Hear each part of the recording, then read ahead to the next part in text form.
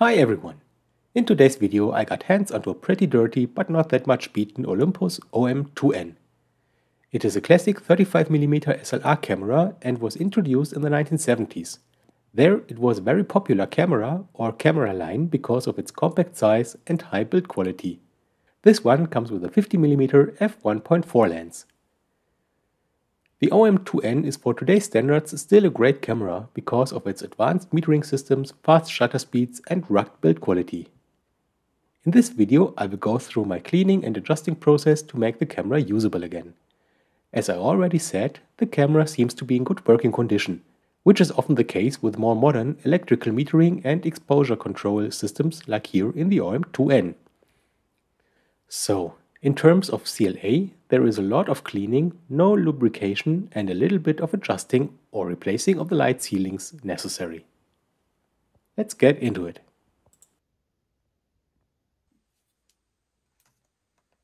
At first I get all my stuff. These are cotton sticks and some cleaning cloths and some isopropanol. Later on I will also use some toothpicks.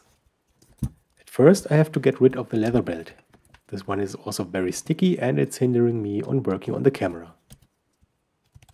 So, bye bye you.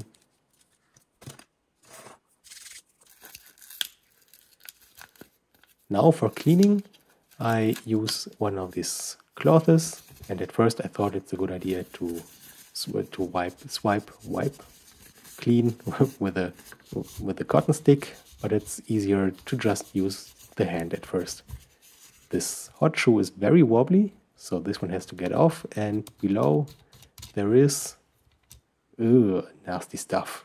Some white spots, maybe fungus. Ugh, I will clean this later.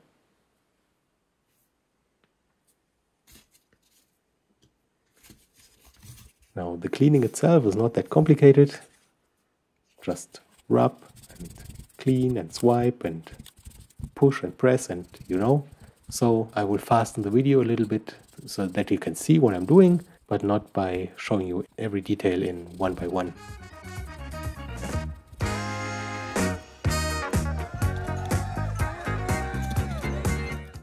Also get into the corners.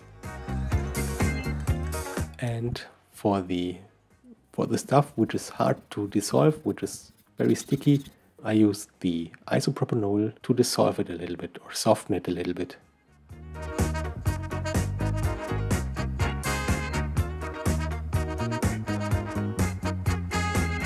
The toothpick is strong enough to get to scratch off the dirt in the corners and in the angles and in the narrow areas, but it does not scratch the metal or the, the top cover itself.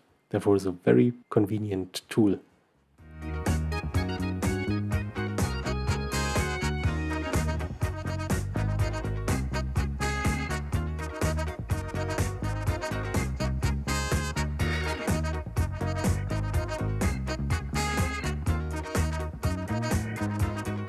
After I've finished my cleaning work on the outside, I go into the inside of the camera. So here's the film chamber and you can see in the gaps above and below the light sealings, which are some uh, some foam material and after the years they dissolve and get very sticky and porous. They have to be refreshed. Also you see also some of the white spots which maybe lead to other problems later. But now I start with removing the the, the back door and cleaning this one. The process is the same as before. Get some cotton stick and some isopropanol and then clean and rub and get it off.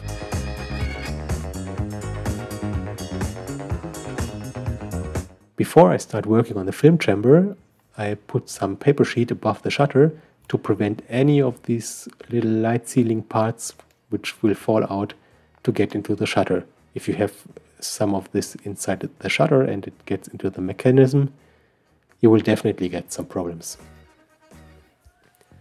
So after this is done, I use a toothpick and a very fine cotton stick and just scratch everything out and then with isopropanol remove the more resistant pieces. Here you can see a very big chunk.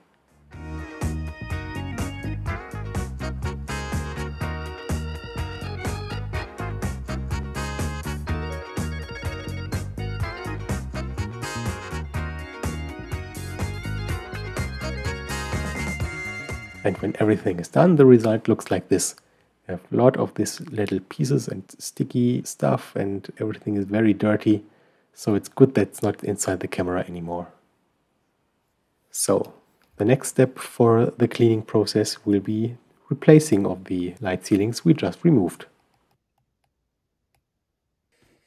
Therefore you need some new tools. Of course you need some sharp cutting blade. You need some cutting mat, the green one in the background. And you need a ruler. And of course you need your material. This light sealing foam has an adhesive back, which makes it easy to place and fix it in the place you need the light sealing later on. The process is again very straightforward. You have to measure approximately the length and the width of the material and then just cut the pieces out and stick them in place. Especially for the gaps above and below the light chamber, it's very important that your adhesive side sticks to the back side and not to the walls of the gaps. Otherwise, it may occur that your door will stick to the adhesive and not open properly. If it's done correct, you will notice that your door pops up with much more tension than before because of your new light sealing.